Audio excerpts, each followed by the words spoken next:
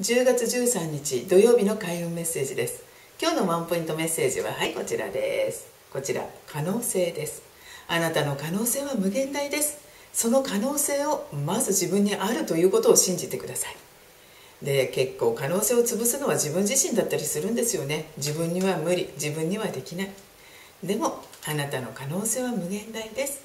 それではまた。